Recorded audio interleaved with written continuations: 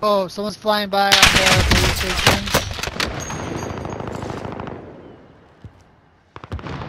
Damn, dude, I hit the guy and broke his shield, but I know, it's crazy. I feel like sometimes these.